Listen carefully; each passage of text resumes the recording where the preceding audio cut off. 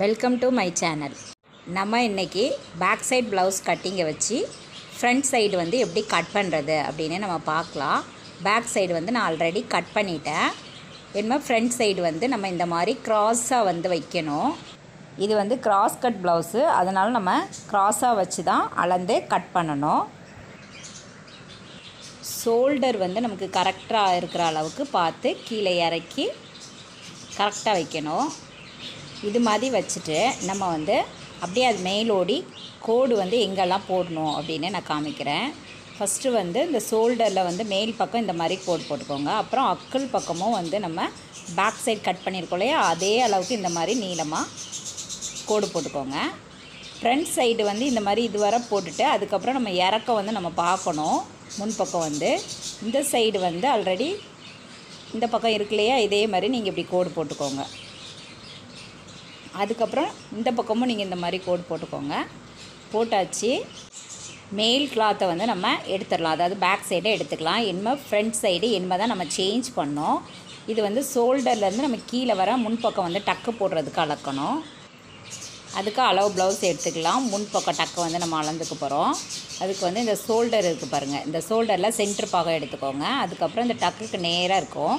இந்த மேல் டாட் இருக்கு இல்லையா? அந்த டாட் எண்டில் வந்து அதாவது கீழேருந்து மேலே டாட் முடிச்சிருப்போம். அந்த எண்டு வர பட்டியிலேருந்து போன டாட் வர நம்ம வந்து அளந்துக்கணும். இந்த மாதிரி நீங்கள் வந்து வச்சு அளந்துக்கோங்க. ரொம்ப இழுத்து அளக்க வேண்டாம். நார்மலாக இது வந்து உங்களுக்கு கிளாத் வந்து இழுத்து வரும்.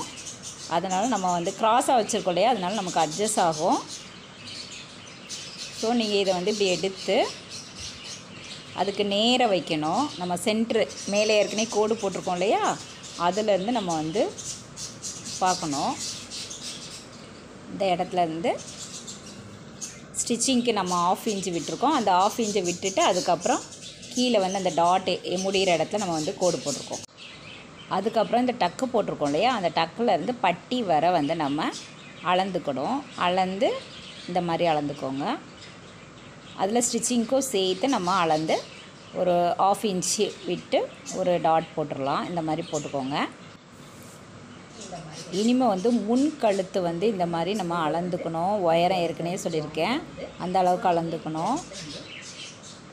இந்த மாதிரி ஸ்டிச்சிங்க்கு வந்து நம்ம ஆஃப் இன்ச்சு விட்டுருக்கோம். அதை கனெக்ட் பண்ணி நம்ம இந்த மாதிரி ஷோல்டரை வந்து இந்த மாதிரி மடிச்சுக்கோங்க. மடிச்சுட்டு இந்த கொக்கி பட்டி வர கரெக்டாக நம்ம எடுத்துக்கணும். நெக் முன் நெக் வந்து கரெக்டாக வரணும் உங்களுக்கு. இதுக்கு நம்ம ஆஃப் இன்ச்சு மேலே வரணும் நமக்கு வந்து. இந்த மாதிரி ஸ்டிச்சிங்க்கோ சேர்த்து ஆஃப் இன்ச்சு மேலே நம்ம விட்டுருக்கோம். இந்த அளவுக்கு முன்பக்க கழுத்து வந்து நமக்கு ஒயரை வரும். இனிமேல் வந்து நீங்கள் இப்படியே வளைச்சி அதை வந்து போட்டுற வேண்டியதுதான். நமக்கு ரவுண்ட் ஷேப்புக்கு நான் வந்து வளைச்சி நெக்கு போட்டுட்டேன். இனிமேல் அக்கல் பக்கத்தில் ஜாஸ்தி அரேஞ்ச் பண்ணணும். இங்கே வந்து ஆஃப் இன்ச்சு கம்மி பண்ணணும். முன்பக்க பட்டிக்கிட்ட கொக்கி இருக்குல்லையே அதில் வந்து ஆஃப் இன்ச் இந்த கழுத்துக்கிட்ட வந்து நீங்கள் ஆஃப் இன்ச்சு கம்மி பண்ணிக்கணும் உள் பக்கமாக இங்கே வந்து அக்கல் பக்கம் வந்து ஆஃப் இன்ச்சு ஜாஸ்தி பண்ணிக்கணும் அப்போ தான் உங்களுக்கு கரெக்டாக வரும். இந்த டாட்லேருந்து இப்படி கிராஸாக ஜாயின் பண்ணி விட்டுற வேண்டியது தான் இனிமேல் இங்கேருந்து இந்த கிராஸ் இந்த பக்கம் ஜாயின் பண்ணிவிடணும் நம்ம வந்து. நெக்ஸ்ட்டு வந்து ஸ்கேல் எடுத்து இதுக்கு நேராக நம்ம வந்து கோடு போட்டுற வேண்டியது தான் கோடு போட்டு இது மாதிரி ஜாயின் பண்ணிக்கோங்க. இனிமேல் வந்து முன்பக்கம் இந்த பட்டிக்கு வந்து கிராஸ் வந்து நம்ம க கட் பண்ணணும். அதுக்கு வந்து இந்த மாதிரி எடுத்துக்கோங்க. எடுத்துகிட்டு ஒன்றரை இன்ச்சுக்கு நீங்கள் இந்த பக்கம் அளந்துக்கோங்க. நார்மல் ப்ளவுஸ் கலை அதேமாதிரி ஒன்றரை இன்ச்சுக்கு அளந்துக்கோங்க. அதுக்கப்புறம் கீழ் பக்கம் இந்த மாதிரி திருப்பிட்டு ரெண்டு இன்ச்சுக்கு ஒரு டாட் போட்டுக்கோங்க. அதுக்கப்புறம் ரெண்டரை இன்ச்சுக்கு ஒரு டாட்டு இதில் வந்து இது மாதிரி ஜாயின் பண்ணிக்கோங்க. இந்த ரெண்டரை இன்ச்சு எடுத்துருக்கோம் இல்லையா? அதில் வந்து ஒன்றே கால் இன்ச்சு பாதியாக வந்து எடுத்து ஒரு டாட் வந்து நம்ம குறிச்சிக்கணும். அவ்வளோதான் இந்த பக்கம் வந்து ஒரு இன்ச்சு நீங்கள் வந்து குறிச்சிக்கணும். அவ்வளோதான் ஏனிமா வந்து நீங்கள் கரெக்டாக இருக்கான்னு அந்த ப்ளவுஸ் எடுத்து கூட நீங்கள் செக் பண்ணிக்கலாம். ப்ளவுஸ் வந்து அக்கிலேருந்து அளந்துக்கோங்க. இதில் வந்து நமக்கு அஞ்சு இன்ச்சு வருது. அஞ்சு ப்ளஸ் மேலே ஒரு அரை இன்ச்சு கீழே ஒரு அரை இன்ச்சு. அது மாதிரி தையலுக்கு விட்டுட்டு ஆறு இன்ச்சுக்கு நம்ம கரெக்டாக இருக்குது. இனிமேல் இங்கேருந்து அப்படியே ஜாயின் பண்ணிட வேண்டியதான் அங்கே ஒரு இன்ச்சுக்கு டாட் போட்டிருக்கோம் இல்லையா? அதில் ஜாயின் பண்ணிட வேண்டியதான் ஜாயின் பண்ணிவிட்டு இதை வளைச்சி நம்ம அப்படியே கட் பண்ணிக்க வேண்டியதுதான். இந்த மாதிரி கட் பண்ணிவிட்டு இனிமேல் வந்து அக்கில் பார்க்கும் அதில் வந்து கொஞ்சம் ஆழமாக கொஞ்சம் கட் பண்ணணும். இது பேக் சைடே கொஞ்சம் ஆழம் தான் கட் பண்ணியிருக்கேன். கொஞ்சம் வேணும் ஆழம் வேணுங்கிறதுனால. இது இன்னும் கொஞ்சம் நமக்கு ஆழம் இந்த இடத்துல வந்து வரணும். ஒரு கால் இன்ச்சு அந்த மாதிரி பார்த்து இறக்கி நீங்கள் வளைச்சி கரெக்டாக கட் பண்ணிவிடுங்க இப்போ அக்கல் பாகம் நம்ம கட் பண்ணி முடிச்சிட்டோம்.